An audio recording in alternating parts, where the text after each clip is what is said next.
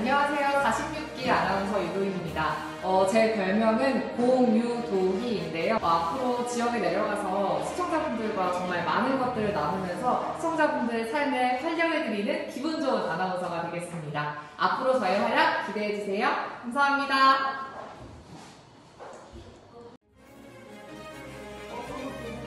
안녕하세요. 46기 신입 아나운서 김진웅입니다. 저는 가장 아나운서 같으면서도 가장 아나운서 같지 않은 아나운서가 돼서 저만의 확실한 매력과 개성으로 여러분을 매혹시키겠습니다.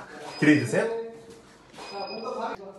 네, 저만의 매력을 잘 보여드리면서 우리 시청자 여러분 그리고 앞으로 제가 라디오를 진행하게 된다면 청취자 여러분들의 마음을 훔쳐보겠습니다. 아 부끄럽네요. 안녕하세요. 46기 신입 아나운서 손지원입니다. 저는 저 영남권으로 입사를 했는데요. 지역민에게 가장 가까운 아나운서가 되겠습니다. 저희 활약 기대해주세요. 더 길게 뭔가 할까요? 안녕하십니까.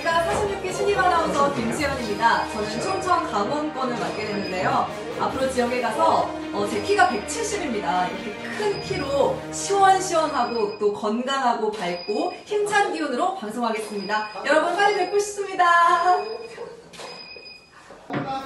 안녕하십니까 46기 신입 아나운서 여러분의 고막 절친 이광현입니다. 여러분의 일상 일상 즐거운 날도 슬픈 날도 어, 우울한 날도 여러분들의 곁에서 여러분의 길을 즐겁게 해드리는 아나운서가 되겠습니다. 잘 부탁드립니다.